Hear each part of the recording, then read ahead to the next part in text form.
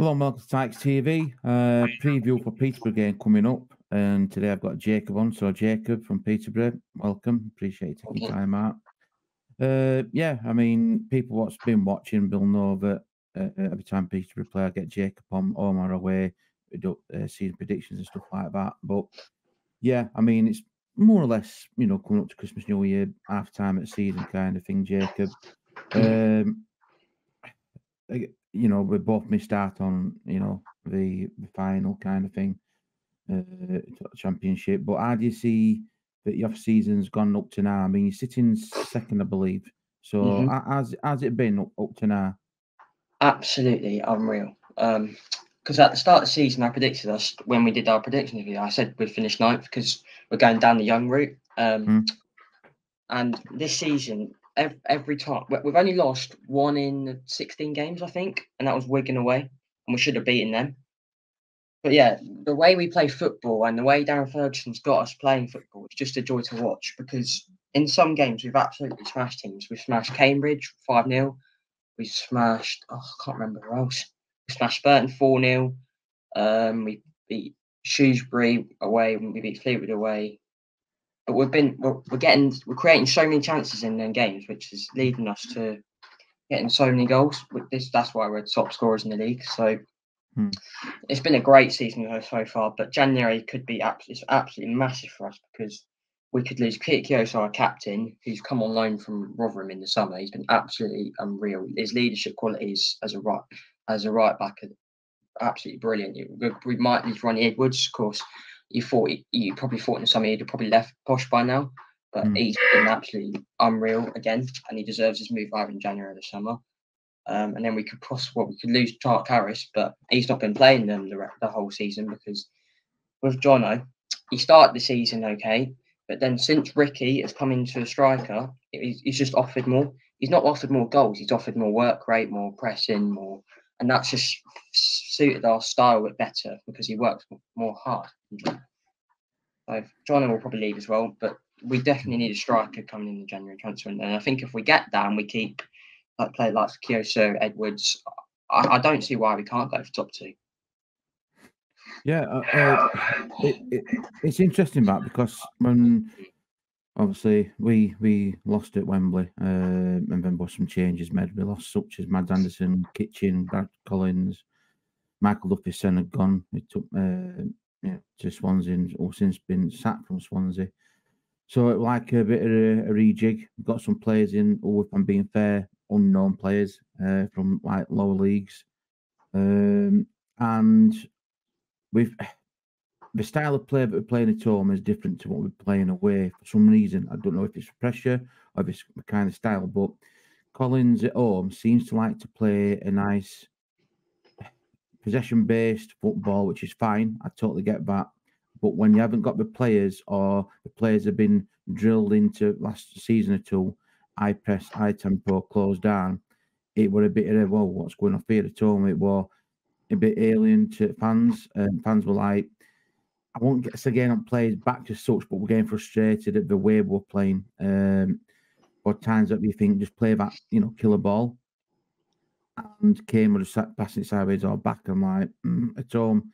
Um, I think his worst, the worst game I've seen at home for me this season were against Portsmouth. And we all know what Portsmouth have done this season. I mean, we've gone on a rate run. But when we were 3 0 down at half time and I was like, this is, you know, one more goal and it could be a cricket squad here. But look at it, second half, it gone from the three at the back and he played a 4 4 2 or a 4, you know, 2 2 wingers kind of thing. And we got back into it. Remember, just missed out 3 2. A lot's been made about as FA Cup debacle, um, ineligible players. So that were a, a bit of swill to uh, swallow. But now the CEO has gone, it seems to be like a, a fresh belief at club because a lot of fans were like, with the CEO, it was acting too, it was getting too involved in the transfer side of players. Now, Bobby Hassell, who's been a Barnsley player from Mansfield for donkey's years and is in academy setup, a lot of Barnsley fans are like thinking like new year, new beginning, we, we, we could be there. we're we're just outside of uh, playoffs. I'm looking at the table right now with Stevenage. Um, I mean, we had you know we won Stevenage and then obviously we won against Port Vale. So for me, going into January, and a lot been made about this is that we didn't beat. I, I don't think we've beaten a, a team in top ten until the Stevenage game. We lost to such as like Portsmouth, Bolton, Derby, Oxford. You know, we lost to uh, teams like that. Now we're coming up against Peterborough, and I would happily snap your hands off for Clarke-Harris to be a Barnsley player because there's Devante Cole, um, I think he's got 13, 14 goals, but his confidence seems to have been gone. Is that a contract at end of season? He just um, he just going through a patch at minute where he's not really it's a miss. Is that on cold? Now I don't know if he's got his head turned elsewhere in January. But for me, I'd, I mean Clarke-Harris. I mean you. I always look at Clarke-Harris, what he's done for Pete, uh, Peterborough for the last couple of seasons. He's always been being in double figures, and I'm surprised he ain't got a move. And if possibility came about, I'd take Clarke-Harris. Um, interesting coming into the game because I know when people came to Barnsley last season, I think it was last home game of season, your Torres and other uh, the the pace that you'd had, the movement up front.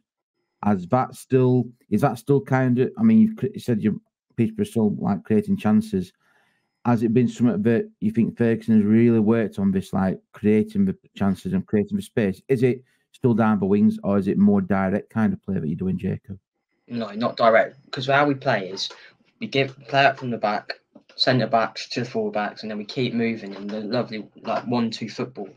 Hmm. So I think Mason Clark and Poku, our wingers, are so important for us because they've got everything you want from Premier. Well, Mason Clark should realistically should be in Premier League, playing Premier League because from oh. he, last season when we signed him, we thought uh, he was going to be a non-league, another non-league gem we signed from like, mm. Barnet because they're pretty much we that's the club we got Edwards from, Taylor from, and they've gone on.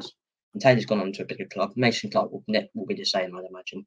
So, yeah, I think the front four we've got this season with Mason Clark, Randall Poku, and Ricky have been all creating chances, all been getting goals and assists, and that's come from clinical clinical finishing and just just uh, just good like oh, what's the word? They're just communication connections. Yeah, because with Randall, the past two seasons, he's of course he came from Exeter like a young twenty-one year old. This season, it's just fully grown, fully grown man. Confidence is just been at, right right up there. It's pleased to see him doing well because he's an absolute on his day. He could be one of the best players in that league because of his mm-hmm. vision, his his passing. He could be one of the best tackling midfielders in the league. If not, he could. He actually is. So, yeah. As as Ferguson tried to keep the same starting eleven, as as he altered yes. in yes. personnel. See, that's different with Barnsley. See, last last seven games we've played the same starting eleven in a row. So I wonder if he freshens up for Friday or not. Because after you, we got Derby away, which is an absolutely massive game. So, mm. um, yeah, yeah, yeah, same team for the past seven games. It'd be front forward stay the same, but ideally from on Friday, I'd like to see a striker change. But that that could be the only change we probably make for Friday's game. But yeah, every, every, yeah, he keeps the same team a lot because from our starting 11 to our bench, which the bench we have a few good players like Clarke-Harris not even getting in the team. We've got mm. two times gold uh, golden boot winner, but he doesn't fit our style of play. That's why he's not getting in. So we have the quality on the bench, but he's keeping the starting eleven because how well we're performing. Yeah, that's true. I mean that, that that's like different with with Barnsley as well. Is that complete opposite? Is that we seem to be we're lucky if we get like two games in on one after other with the same starting eleven, and that's like frustrating because you think, you know, yeah, you're going to get your injury or suspension, but when there's no need for it, you think, oh, why are you changing that? It's like a winning team or run back, run dump. And I get with his life it's coming up, especially for Christmas period. So I, I kind of expect him to make some more changes come Peterborough game, uh, you know, because coming up thick and fast, which I totally get about, you know, footballs and that. But building up to this, especially when there's like you got your international breaks and the every week off, thinking, right, don't don't really alter it unless you've you know a player's got an injury or a knock. One player that I'm, I'm pleased is back for me personally, on a personal point, is Luca Connell. So bad we missed him. And it's made such a difference in my midfield. A lot of play goes through him. You've got back like midfield trio now. First time it happened a couple of weeks ago. First time this has happened since last season is that he's got Luca Connell, Herbie Kane, and Phillips heading back uh, front. And it's like the midfield trio from last season, which did so well. It's only just happened recently in the last couple of weeks. And I'm thinking if we could have started off like that, probably some of these games that we've lost at home, you, you know, or um, drawn at home, is we might have got a win out of that.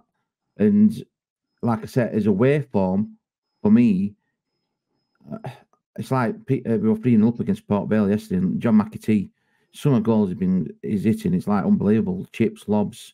He's not afraid to have a go. And unfortunate for me, but he's not a Barnes. He's not our Barnes player. If you know what I mean, he's on loan from Luton Town. So I could see any time, such like uh, Roberts from Middlesbrough, he could rumours going about he could get recalled back. And I think that could be January could be very important for us whether we keep him for end of season or we can time up on a contract, you know, because we're out of contract, or whether they like say, no, we want him back and we want him to be playing in Championship now rather than League One uh, to see if he can get a bit more pound notes on his value. So, I, I, personally, I I think Barnsley is still probably three. I'd like to have three players in, in inside. I'd like Roberts, who was on loan at Middlesbrough, to get signed up permanently. I still think we need another centre back. And for me, I, I want another, I want another striker because I'm still not convinced that Devante Cole he'll be our player, whether it be January or end of season. I think he will go. So I would rather get something in place like now. Again, whether that's you know possible, because we all know that January comes round and people put X amount of pounds on them, and it's always last minute. But that's interesting to see that Peterborough are they approach game, and that's what I think Barnsley have been missing a bit. Certain partnerships. So going into Peter game for me, I think our players need to be on that same wavelength. I, you said that you probably make a striker change uh, for game on Friday. What would you change, and, and why would you change, J- uh, Jacob? The only change I'd make on Friday is. Um, we signed him from Chelsea in the summer because we played Papa John's trophy game against Chelsea in 21s last year, and he was absolutely amazing. Scored two goals, it's a real threat. And MacAnthony somehow got him in um, on deadline day, I think. So I'd like, of course, I know all posh fans. I just want him to have a go because he, so that start season didn't have the match fitness. So now he's got the match fitness, and I think I personally think he needs about 70 minutes in a proper League One match because we need he needs to show what he's about. We've signed him for a reason. He, he, he's probably our replacement for John though. So he, he needs to prob- he needs to start a game to show how good he is. And if if he if he contributes if he plays against Barnsley, then he, he'll be our number nine. But I, I, I doubt he'll, I doubt he'll start Mothersill, but I I think he should play myself. Hmm. I think for for Barnsley, the changes, what could he make? Why? I would like to see Cosgrove starting, this might be a bit controversial for some Barnes fans. I'd like to see Cosgrove starting in front of Devante Cole because I think when Cosgrove comes on, he offers that bit more power and muscle up front. McAtee, a lot of people have said he's not a striker, he's more a, a you know central attacking midfielder. We got Phillips here, so while everybody's scoring goals and goals that he's scoring, I'd, I'd keep McAtee in. Rest at side, I wouldn't really change out as regards, you know, I want that continuity, I want players to make that understanding I don't think any players picked up any injuries. In fact, I think the substitutes he made against Port Vale, he took them off pretty early to, you know, thinking 3 0 were enough, keep him in mind for the Peterborough game coming up. But in a way, it had a detrimental effect because he didn't take his foot off at gas, wind up, you know, Port Vale ended up scoring two goals. So, end of, day, end of game, a bit of a squeaky bum type like we, we could have bit, uh, you know, we had a momentum there but all of a sudden we, we got away with win just rather than being make it comfortable. Do you think Peterborough? I, I, I can't see him, but do you think Peterborough will approach this game against Barnes any differently, or do you think they'll he'll just play as it is?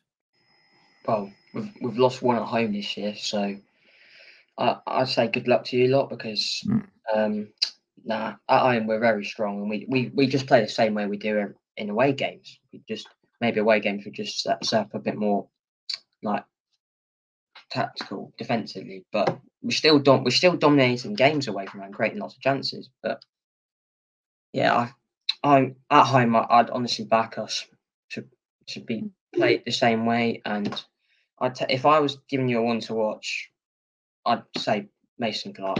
He's got everything, and that, and of course he's bullied basically most right backs in the League One this season. I don't know who your right back is, but who's your right back?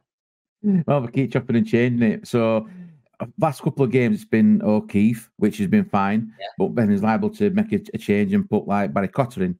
So it's like this is this, this is what I'm saying is like the players need to be playing a good handful of games to get that understanding of position. And I'm glad you mentioned Mason Clark because last season when I know we were up at Oakwell, the the amount of wing, the the, the spaces you were running into, the pace, and I'm like, oh yeah, he's got pace, that's, that's a for me. Dribbling, quick, so good player. Such a he's he's better than Ricky Dembele, and he was good for us.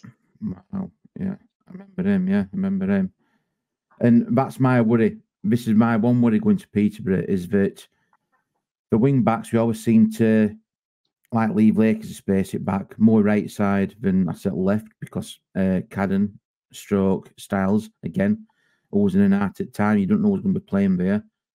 And the one worry I've got at Barnsley at the moment, and it's happened last couple of games, and it's happened against Stevenage, it's happened against uh, Port Vale, is that we're slow to react at second ball when it comes in.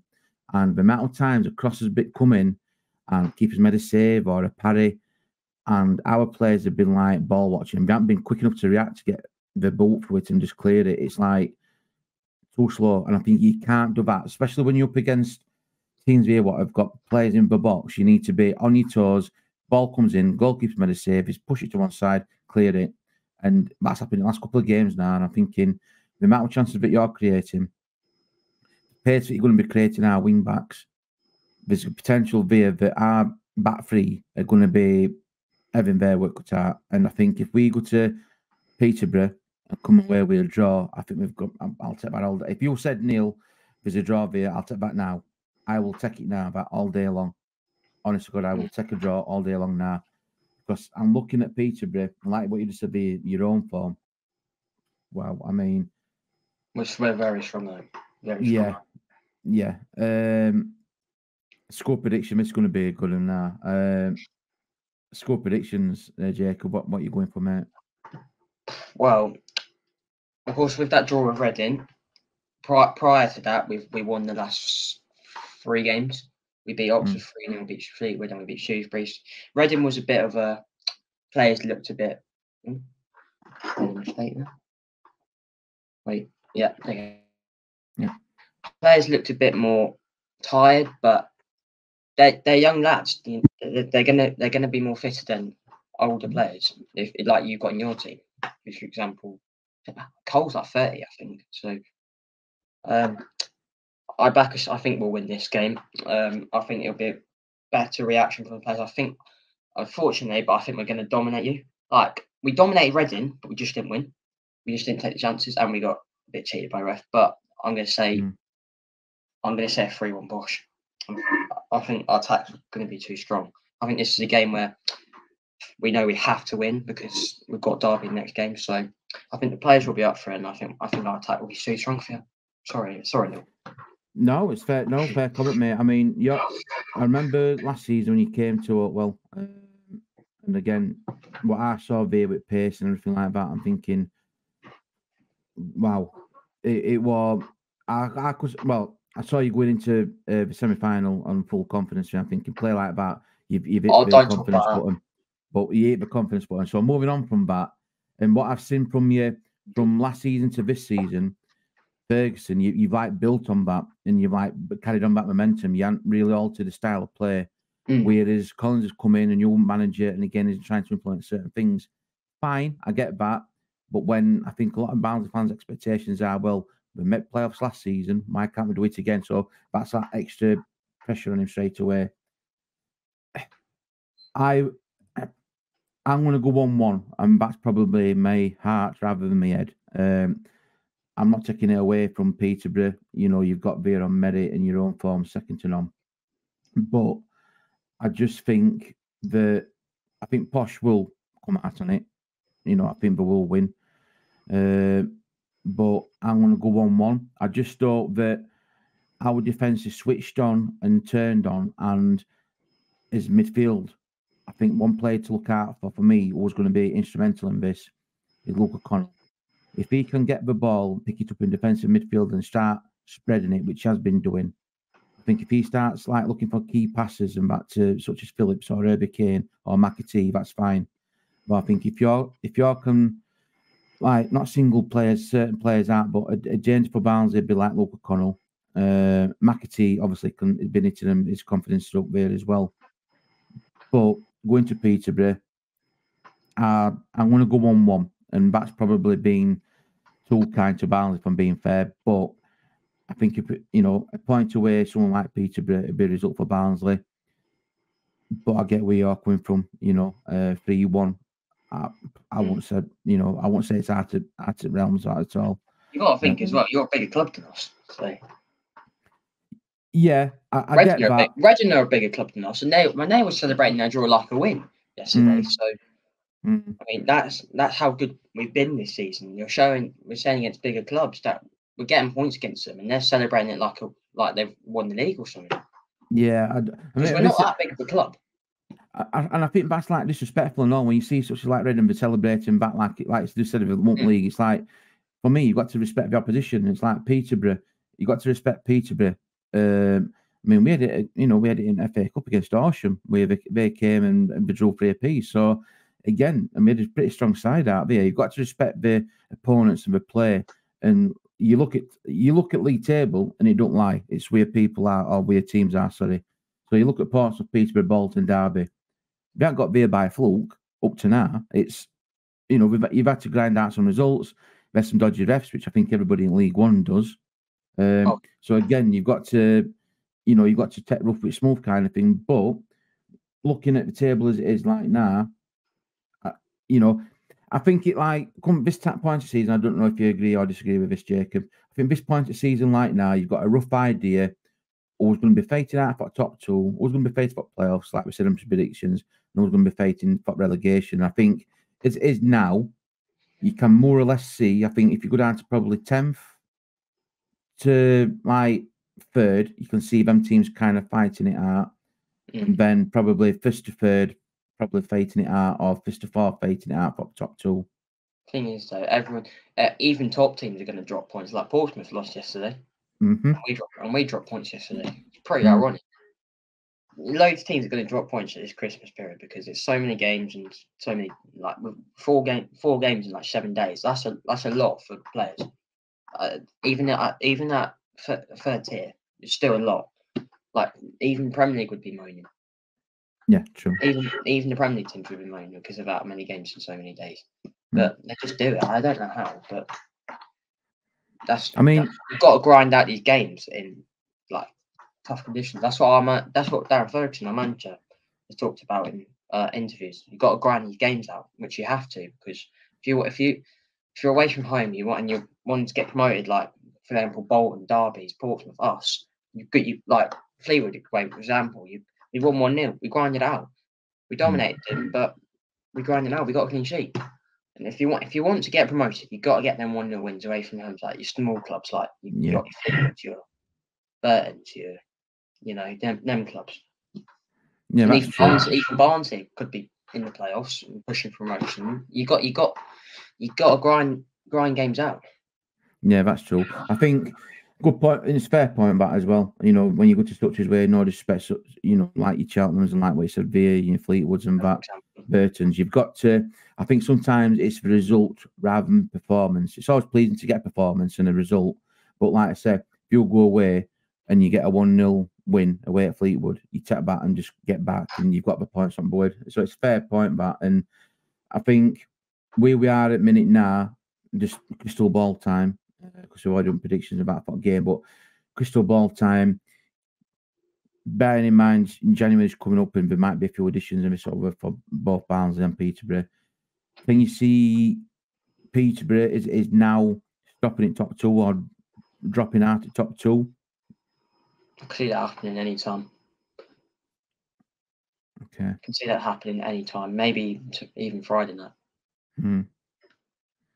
But no, no real concerns going into January. You think, oh, we might add a add another one or two players to mix. I think it's got to be concern for a posh fan. We've got to have some bit of concerns because we're gonna we're probably probably gonna lose our captain and we're probably gonna lose someone else like Edwards.